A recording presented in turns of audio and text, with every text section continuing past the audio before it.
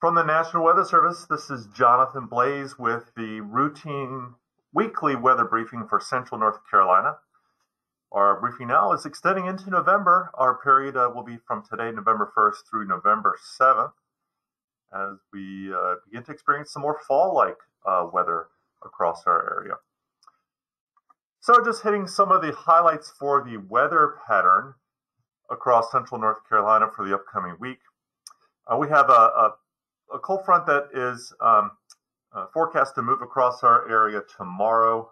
There's actually a series of weak fronts, to be honest with you, with the main surge of the coldest air coming in tomorrow, Tuesday. Uh, that front is supported by an upper level disturbance, with, which could r- result in some additional cloudiness and even a sprinkle um, late tomorrow, Tuesday afternoon, Tuesday night, uh, up in the northeast uh, portion of uh, our area and up and really into uh, southeastern Virginia that should be trivial if any of that occurs. Uh, but the big deal is that a colder air mass, a much colder air mass, uh, is likely to move into the area uh, for the uh, midweek into the weekend. And so we'll be fe- feeling those temperatures and talking more about that uh, here in a moment. That front will stall across the northern Gulf Coast and just off the uh, southeastern United States coast. And in somewhat of a, a winter weather like pattern, um, we'll have a an upper level trough move across the area, and that may result in a couple patches of light precipitation breaking out.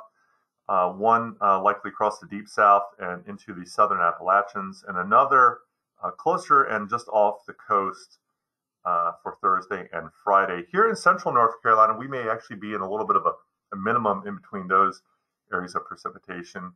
Uh, but that is generally expected to be light and uh, generally just rain kind of a, a, setup.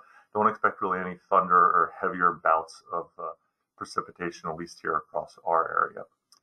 That eventually will all shift offshore uh, by uh, late in the weekend, and drier weather likely to resume for Sunday into Monday. At this point, it looks like the nicest weather day for the um, weekend will be on Sunday, and that'll be especially true at the coast if you're heading down uh, that way. Uh, so looking at some of the details, uh, severe weather outlook, uh, no thunderstorms really expected uh, in or near our area, so that's not a concern. Uh, the accumulated precipitation forecast, again, dry weather today into tomorrow, could be a sprinkle up toward Virginia on Tuesday afternoon, Tuesday night, should not be very consequential. generally dry Wednesday, there's a little bit of painting of some light precipitation here in central North Carolina. That's associated with the upper level disturbance that'll be approaching really on Wednesday night. Uh, but again, uh, uh, for most of us uh, today, Tuesday and Wednesday will be dry uh, in our area. And the best and really only real chance of rain for the upcoming week is for the period of Thursday and Friday, and perhaps into very early Saturday, as we have again the front stalled along the coast and some showers and rain out in that area which may leach or bleed back toward our far eastern areas in the coastal plain. And then uh, an upper level disturbance kind of hangs out and uh, uh, develops some precipitation across the deep south and the Appalachians, which uh, may focus and move into the, the, western Piedmont. So here in central North Carolina, we may be in a little bit of a minimum in terms of rainfall amounts, but do expect everybody to get at least a little bit of rain for Thursday and Friday. Uh, otherwise, it'll be cloudy during that period. Uh, and the rain again won't be terribly heavy. Generally, the amounts will be a tenth of an inch, maybe a couple tenths of an inch, uh, but probably uh, not much more in that our area. Um, uh, so through for the seven day total, uh, probably about a quarter of an inch, I guess, for most locations. Um, and with that, no excessive rainfall is expected or flash flooding. Again, the rain will be steady, kind of light, more of a cool season type pattern with that. Um, tropical weather outlook. The uh, National Hurricane Center is actually issuing advisories on a subtropical system called Wanda, way out in the middle of the Atlantic. It's actually uh, east of Cape Hatteras, but uh, several thousand miles east and closer to Europe than it is North America. That storm is more of a novelty than anything, so no concern with that. The 8 to 14 day outlook uh, highlights a below normal um, period of temperatures likely for the second week of November uh, consistent with really what we're starting off uh, with here in uh, the next few days, and uh, generally a tendency for dry weather.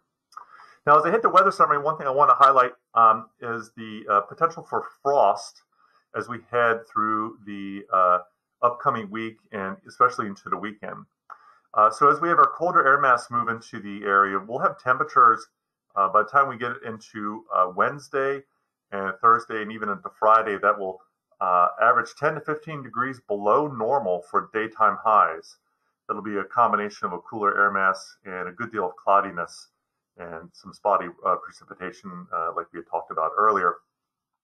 Keep in mind, normal highs this time of year are in the upper 60s, and uh, normal lows are down into the 40s. With a cloud cover, our nighttime lows won't get real, real chilly at first, but there'll be a tendency for our lows to drop into the 30s as we head into Friday morning and especially uh, Saturday morning. And then by Sunday morning, uh, we may have lows uh, well into the lower and mid 30s across the interior Piedmont. And uh, that's likely to be uh, the coldest uh, morning of the upcoming period, again on Sunday morning. So if you're in the US 1 corridor west, you know, again in the Piedmont, Raleigh, um, Southern Pines, those kind of locations west up into the Triad, uh, and you have any outdoor uh, sensitive vegetation, it'd be good to start thinking about how you're going to take care of that, uh, especially as ahead into Friday uh, night and, and, into Saturday night as well. More details on exactly how cold those temperatures will get uh, will be worked on here for the next few days. But uh, certainly the coldest night of the season is coming up as we head into the weekend. And again, we have um, a period of light precipitation for Thursday into Friday that will keep our temperatures from being real, real cold, but uh, make it feel colder with the clouds and a little bit of wetness out there. And then some improving conditions in terms of uh, dry weather uh, for the weekend, especially early next week. But again, quite cold. Uh, lows uh, well into 30s just about across all of central North Carolina and some places uh, below freezing again as we looks like on Sunday morning. That's really the only hazard we have in the forecast is the cold weather. So with that, I'll uh, uh, close the broadcast and stand by for any questions. We hope everyone has a good week and enjoys the uh, fall like uh, weather pattern coming up.